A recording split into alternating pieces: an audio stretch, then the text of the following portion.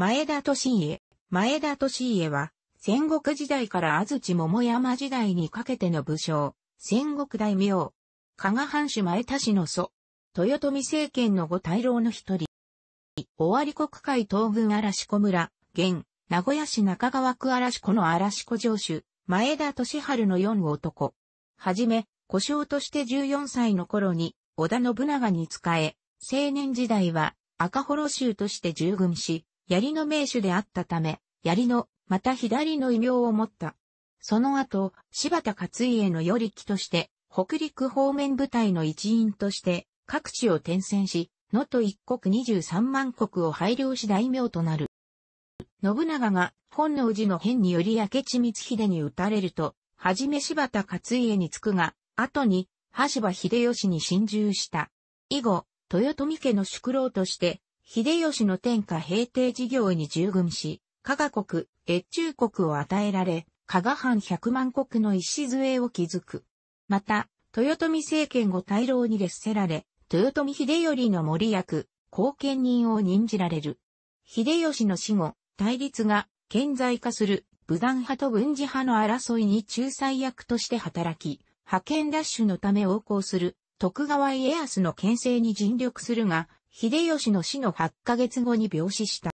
天文7年12月25日、1539年1月15日、尾張国会東軍嵐子村、現、名古屋市中川区嵐子において、その地を支配していた、土豪、荒子前竹の当主である、前田利春、利政友の四男として生まる。幼名は犬地よ。荒子前竹は、年人流藤原氏の一族とも菅原氏の一族とも言われるが確かなものではない。当時の領地は二千間だった、年井駅。青年に関しては、これまでは、小雲皇后後期などの前田屋川の記録から天文7年12月、1539年1月、説が有力だったが、近年では、秀吉が没した時に、年家が耳塞ぎ餅を行ったとする伝え音に秀吉と同年とする天文5年、1536年を青年とする説や、これを訂正した天文6年、1537年を青年とする説が提示されている。はじめ前田氏は、小田家筆頭家老の林修帝の与力であったが、信長後期、加賀藩志向、天文20年、1551年頃に織田信長に故障として仕える。若い頃の年家は短期で喧嘩早く派手な格好をした歌舞伎者であった。翌天文21年、1552年に終わりした四軍を支配する織田山と守や清須織田氏の清須城主、織田信友と信長の間に起こった津の戦いで、初陣し、支給一つを挙げる功を立てる、村井重より覚書き。その後、元服して前田又左衛門利家と名乗った又四郎、孫四郎とも。この頃、信長とは主導、同性愛の関係にあったと、加賀藩の資料、阿昌公小屋に、鶴の汁の話、信長に若い頃は愛人であったことを、武功の宴会で披露され皆に羨ましがられた時の逸話して残されている、と解釈されることが多い。近年の研究では、この文章は単純に不審版として縄近く使えるほどに親しく接したことを誇っただけと見る説が立てられている。青年時代の年家は、血気盛んで槍の又左衛門、槍のまた左などの異名を持って呼ばれていた。工事2年、1556年、信長とその弟の織田信勝による織田家の家督争いである、稲尾の戦いでは、宮井官兵衛なる、故障頭に右目下を矢で射抜かれながらも討ち取るという功績を挙げる。永禄元年、1558年、尾張上四軍を支配していた、守護代岩倉城主、織田信康、岩倉織田氏の息子、織田信方との争いである、浮屋の戦いにも従軍し、功績を挙げた。前述の異名で呼ばれ始めたのも、この戦いの頃からという。また、この戦いの後、永禄初年頃に新設された赤と黒の幌州、信長の親衛隊的存在の直属精鋭部隊の赤幌州筆頭に抜擢され多く、与力を添えられた上に、百貫の画像を受ける。同年、十枚である、松、吉春井大室に迎えて、すぐに、長女、公を設ける。永禄2年、1559年、信長の寵愛を受けた、同胞州の十阿弥といさかいを起こし、十阿弥を惨殺したまま出奔した、俗に、郊外切と呼ばれる。当初、この罪での成敗は避けられなかったが、柴田勝家や森吉成らの信長への取りなしにより、出資停止処分に厳罰され、浪人暮らしをする。この間、厚田神宮社家松岡家の庇護を受けるなどで命を繋いでいる。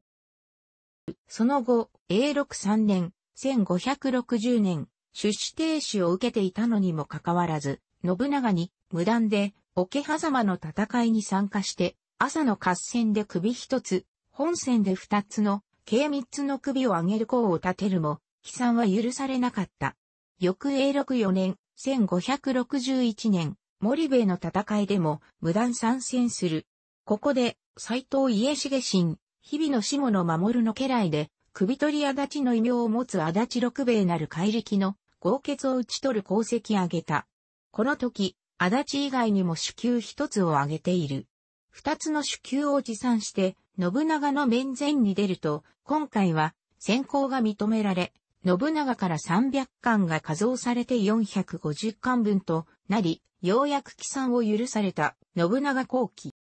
年家の浪人中に、父、年春は死去し、前田家の家督は、長兄、利休が継いでいたが、永禄12年、1569年に、信長から突如、兄に代わって、前田家の家督を継ぐように命じられる。理由は利休に実施がなく、養子は利益がいた病弱のため、武者道将五無沙汰の状態にあったからだという、村井重より覚書き。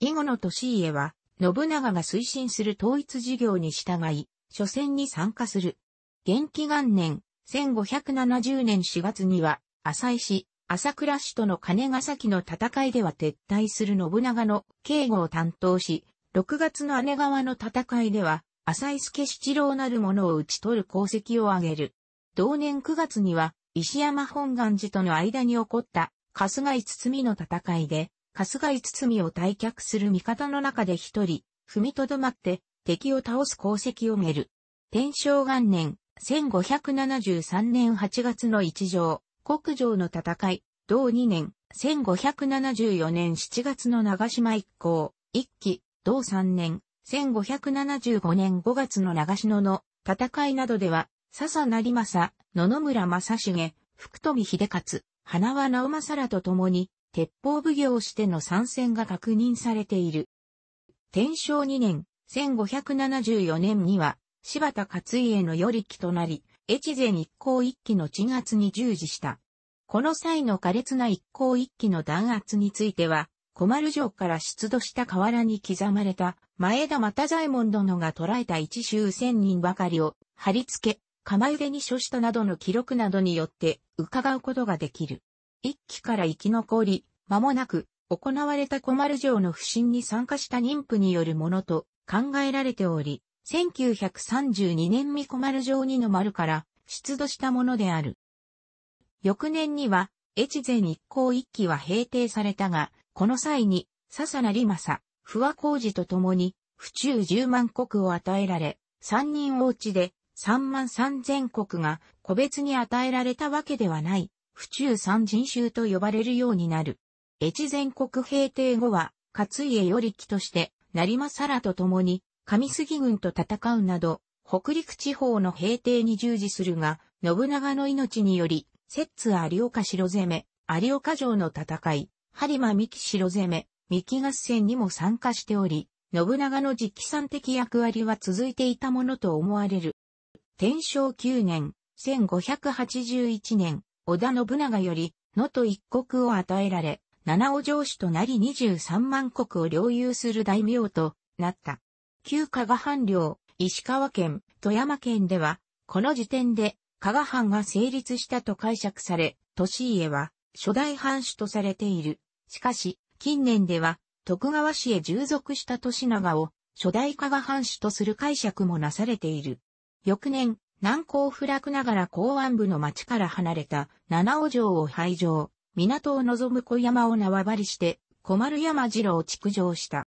天正10年、1582年6月の本能寺の変で、信長が家臣の明智光秀により撃たれた時、利家は柴田勝家に従い、上杉景勝軍のこもる越中魚津城を攻略中であり、山崎の戦いに加わることができなかった。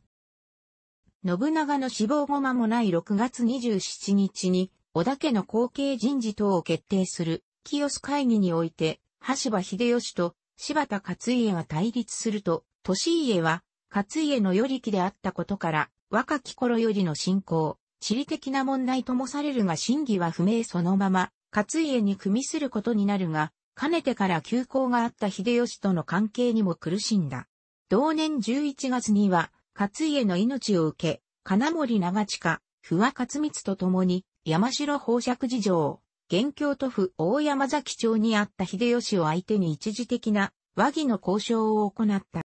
そして、天正11年、1583年4月の静ヶ岳の戦いでは、利家は5000ほどを率いて、柴田軍として布陣したが、戦わないうちに戦線を放棄するような動きがあり、これは、秀吉の勧誘に、利家が早くから応じていたからではないかと推測される。合戦の竹縄で突然撤退し、橋場軍の勝利を決定づけた。利家は、越前府中城、現福井県竹吉にこもるが、敗北して北の少城へ逃れる途中の柴田勝家が立ち寄って、これまでの労をねぎらい、湯漬けを所望したという逸話が残る、静岳合戦記。その後、府中城に死者として入った堀秀政の勧告に従って利家は降伏し、北の小城攻めの先鋒となった。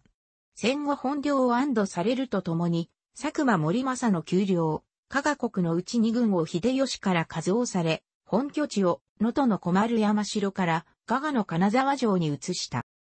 佐久間森政は一向一揆の拠点であった小山御坊の後に城を築いた際に、現地の地名にちなんで、金沢城と命名したが、利家は森政色の排除と一向州との融和、さらに自身の出身地である、尾張国にも通じることから、金沢城を小山城と改名した。だが、小山御坊以前から使われていた金沢の地名が定着していたために、利家の晩年もしくはその没後に、金沢城に名称が戻され、後世に伝えられることになる。天正12年、1584年の秀吉と徳川家康、織田信夫が衝突した小牧、長久手の戦いでは、笹成政が家康らに呼応して、加賀、能登国に侵攻したが、末森城で成政を撃破した末森城の戦い。4月9日の長久手の戦いでは、秀吉方は敗北を喫したが、その後も両軍の退陣が続いて戦線は膠着状態となった。この間、庭長秀と共に北陸方面の守備を委ねられていた利家は、北陸を動かなかった。末森城の戦いに勝った利家は、続いて、加賀越中国境の荒山、勝山砦を攻略、越中国へも攻め込んだ。奥村支分所。9月19日、利家は秀吉より一連の戦いの勝利をがされている前大工徳会文書、小足印。成政との戦いは翌年まで持ち越され、その間に利家は上杉景勝と連絡を取って、越中国境に進出させたり、成政の武将となっている、腰中国州、菊池武勝に誘いの手を伸ばしたりしている。また、兵を派遣して越中国を攻撃した。天正13年、1585年3月に秀吉は西賀州を鎮圧。6月には弟、橋場秀長を大将として四国へ使わし、これを平定した。天正12年、1584年8月、利家が先導役を果たし、秀吉が10万の大軍を率いて、越中国に攻め込むと、笹成政は降伏、富山の薬師、利家の着手、前田利長が、越中国の四軍のうちと並み、意味ず、ネイの軍を加増された。同年4月に、越前国の国主である、庭長秀が没死に分けは、国外となり、それに伴い利家は、豊臣政権下における、北陸道の装飾とも言うべき地位に上った。秀吉から諸大名の窓口としての機能を求められたのである。とりわけ、蒲生騒動の件では、徳川家康に代わって奔走し、秀吉から処分の取り消しを引き出した。九州征伐では8000の兵で、機内を守備、息子の利長が九州まで従軍。同年7月に秀吉は関白に任官し、9月に秀吉が豊臣姓を賜ると、天正14年、1586年に、利家に、橋橋、名字を名乗らせ筑前上左近衛県少将に任官させている前田家父。天正16年、1588年には、秀吉から豊臣姓、本姓をも可視された。天正18年、1590年1月21日には、参議に任じられる前田家父。また、秀吉が主催した北のお茶の湯や御用税天皇の呪楽大名公にも陪席する。その後は、欧州の伊達政宗などに対して、上洛を求める交渉役となる。北条氏制圧のための小田原征伐では、北国政の葬式として、上杉景勝、真田正幸と共に、上野国に入り、北条氏の北端要所の松井田城を攻略、他の諸城も次々と攻略した。続いて、武蔵国に入り、八形城、八王子城を落とす、上杉家文書、前高府。7月5日、北条氏は降伏。道の区国の伊達政宗もこの時すでに小田原に出向いて、降参していたが、彼に対する尋問は、利家らが言ったという、伊達治や記録。先に上洛を促していることや、秀吉への奏者を務めていることなど、利家は、伊達政宗や南部信直との外交についても取り次ぎをしており、南部信直との交渉は、天正14年8月頃から確認される。小田原落城後、秀吉は、大上軍を進める。秀吉自身は8月に、鬼人の都に着いたが、利家らは残って、大宇の鎮圧に努めた。国内を統一した後の秀吉は、唐入り、高麗五人、すなわち朝鮮出兵を始める。天正19年、1591年8月、秀吉より出兵の命が出され、名古屋城の築城が始められた。翌文禄元年、1592年3月16日に、利家は諸将に先んじて慶を出陣、名古屋に向かった、時常狂気。従う兵は8000というが、着手の年長は慶に止められている。はじめ秀吉は自ら都会する意志を持っていたが、利家は徳川家康と共にその日なるを解き、思いとどまらせた。7月22日、秀吉は母、大政初期徳の方を得て、急ぎ帰坂する。葬儀を終えて、再び名古屋へ向け、大阪を立ったのが10月1日、多門院に行き、約3ヶ月間名古屋を留守にしていたが、その問い、秀吉に代わって、諸将を指揮し、政務を行っていたのは、家康と利家であり、後の号大老の原型が見て取れる。文禄2年、1593年1月、都会の命を受けて準備し、陣立てまで定まったが、間もなく、明との講和の動きが進み、結局は都会に及ばなかった。5月15日、民主が名古屋に着くと、家康、利家の邸宅がその宿舎とされた。8月、豊臣秀頼誕生の方に、秀吉は大阪に戻る。利家も続いて登場し、11月に金沢に起乗した。この時に、松の次女である千代の方との間に生まれた子供が去る、千代、後の第三代加賀藩主、前田利常である。文禄3年、1594年1月5日、利家は、上杉景勝、毛利輝元と同日に、13位に上位され、4月7日には二人よりも先に、県中納言に任ぜられたことで、これまで継承、照元の後人を排していた官位の序列面において、逆転することになる。これは、秀吉が利家を、徳川家康に対抗させ、豊臣一族を補佐させる存在にすべく、儀礼的な面でも、序列の引き上げを図ったものと見られている。慶長3年、1598年になると秀吉と共に、利家も健康の衰えを見せ始めるようになる。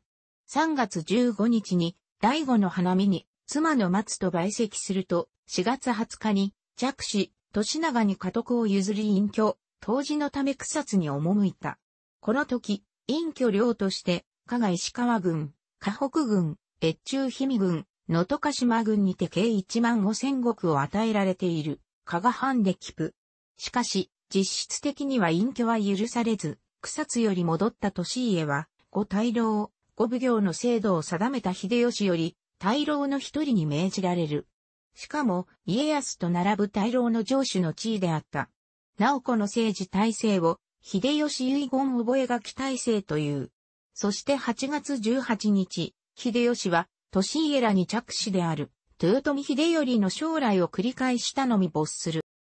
慶長4年元旦、1599年、諸大名は、伏見に出頭し、新主秀頼に年賀の礼を行った。利家は病中ながらも、伝役として無理を押し出席、秀頼を抱いて着席した。そして10日、秀吉の遺言通り、家康が伏見城に、利家が秀頼に故障し大阪城に入る。以後、秀頼の森役として大阪城の実質的主となる時常、利家やは。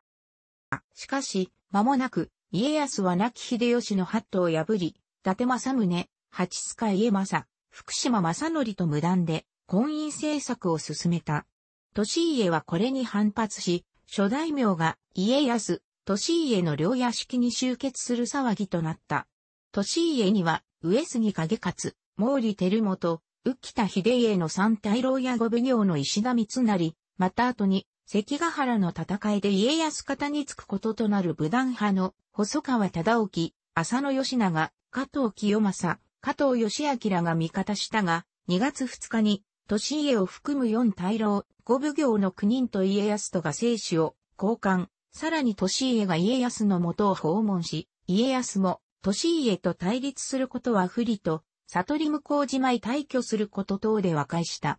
この直後、利家の病状が悪化し、家康が病気見舞いのため利家邸を訪問した。この時、利家は抜き身の立ちを布団の元に忍ばせていたというエピソードが残っている。浅川聞き書き。その後、慶長4年ウルー3月3日、1599年4月27日、大阪の自邸で病没した。去年62。